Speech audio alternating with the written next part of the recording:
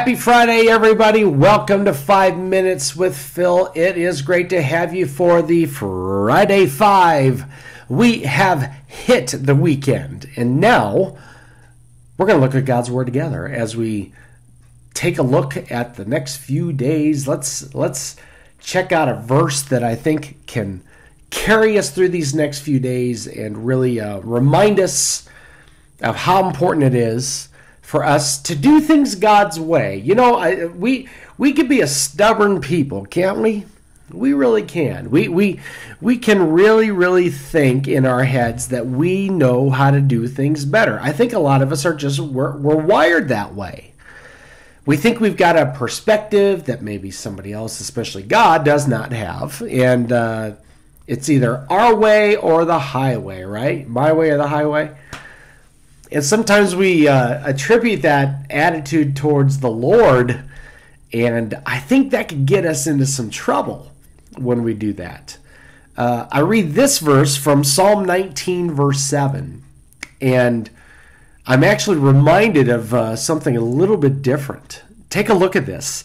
Psalm 19, verse 7 says, The instructions of the Lord are perfect, reviving the soul.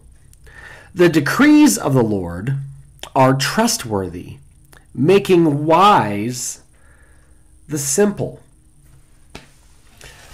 I think a big problem that we have in our culture right now is the uh, the kind of the watering down of the Word of God. What I, what I mean by that, um, we we are we, we find our culture making moral decisions based on anything but the Word of God. We might make it based on our experience. We might, uh, here's a dangerous one, we might make our decisions based on how we feel. Um, we might make our decisions because of our current circumstances. You know, for example, I've, I've seen people that have um, made a decision or they have an, at least an opinion on something uh, because they have a loved one who might be caught up in a certain sin or a certain lifestyle, whatever you want to call it. And because of that, I've seen Christians actually kind of edit God's word in their minds and say, well, I think God's okay with that. Even though the Bible's clear about that particular topic or that particular situation. And the the the danger I think that we can run into as followers of Jesus is thinking that we are the exception to what God's word has to say.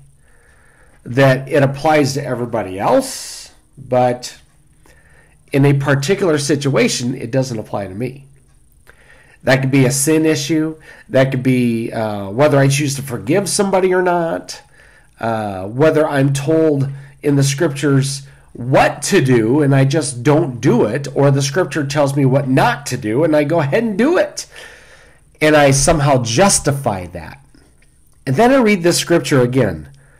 The instructions of the Lord are perfect. Understand this. The way that God's word has outlined things for us to live that that is perfection. Uh, the, the the writer of this psalm goes on to say, it revives the soul. The decrees of the Lord are trustworthy, and they can even make the simple person wise. When when we think that we kind of have a handle on what the Word of God supposedly says, as opposed to what it says, we really find ourselves walking on some really thin ice spiritually. I really want to encourage us today. Let's embrace what God's Word has to say. Let's not deviate from it. The truth is what sets you free. Truth sets us free. The ultimate truth is God's Word, it never changes. And so I encourage you today and all weekend to really keep that in mind. If God's word says to do it, I'm going to do it. If God's word says to not do it, I'm going to avoid doing that. And I believe that, as the scripture says, that will revive your soul.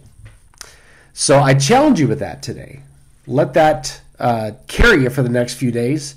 And um, I think you'll be blessed for that. Okay, I got to let you go. Thanks for joining me. We love you. And I pray you have a good weekend. Until next time, we'll see you later, okay? Bye bye.